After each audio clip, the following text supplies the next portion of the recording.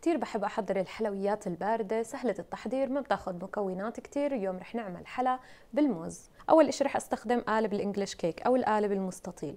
نقدر طبعا نستخدم أي صينية أو قالب متوفر عنا. حتى أقدر أقلبه بسهولة عندي هون كيس نايلون أنا قطعته آه، بشكل مستطيل وقطعت كمان قطعة بهذا الشكل حتى يغلف كل جوانب القالب. رح أستخدم بهالوصفة حبتين موز يكونوا كبار. إذا كان الموز صغير بنستخدم أربع حبات. بدون ما آه، يزحلق من إيدي رح أبدأ أقطع الجهة اللي فوق من القشرة بهالشكل. هاي الجهة السفلية تركتها موجودة وهلأ رح أقطع حبة الموز جوا القشرة بهالطريقة لدوائر. هون رح أجيب شرائح الموز اللي قطعناها وأضيفها بقاعدة القالب بهالشكل ورح أبدأ أفردها لتاخد شكل القالب. نعمل طبقة أو طبقتين حسب الكمية اللي أنتم بتحبوا تضيفوها وبنحاول إنهم يبطنوا قاعدة القالب كامل رح أضيف إضافة بسيطة من عندي طبعا هي اختيارية. رح أضيف بس مجرد معلقة أو معلقتين كبار بس من ال chocolate chips فوق الموز.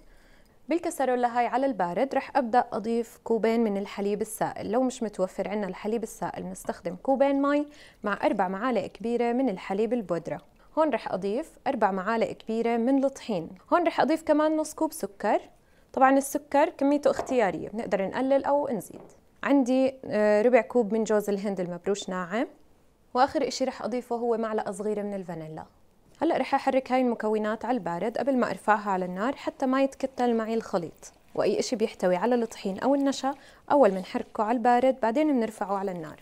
تقريبا هالخليط بيشبه المهلبية بس عملناه بالطحين بدل النشا. وبنقدر كمان نستغني عن جوز الهند إذا مو حابين تضيفوه. رح أستمر بالتحريك حتى تتكثف وتعقد معي وتتحول لقوام كثيف.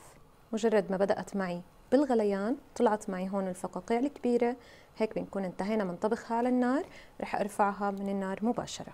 رح أصب الخليط مباشرة وهو سخن فوق قطع الموز والشوكولات شيبس اللي حضرناهم بالقالب.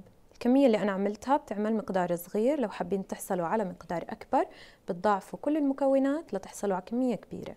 بحاول أسوي السطح قد ما بقدر. وهلا كخطوة اختيارية إضافية بنقدر نضيف قطع البسكوت على الوجه بس لازم نضيفها والخليط هذا عندي ساخن.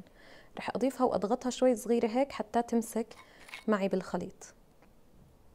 هلا لازم اتركها تبرد على درجة حرارة الغرفة على طاولة المطبخ قبل ما أحركها بعدين رح أنقلها على الثلاجة هلا رح أبردها بالثلاجة لمدة لا تقل عن ساعتين ويفضل نبردها ليلة كاملة. بس رح أستخدم صحن يكون أكبر من القالب رح أقلبه فوقه بهالشكل. هلا رح أرفع القالب وبرفع كمان ورق النايلون بهدوء. أنا هون الحلو صار عندي جاهز. بقدر أقدمه مثل ما هو وبقدر أزينه كمان بالبسكوت المطحون أو حتى بجوز الهند المبروش. وهلأ بدنا ندوق الحلو مع بعض. حتكون عبارة عن طبقة مهلبية غنية وكثيفة مع طبقة من الموز. صحتين وعافية.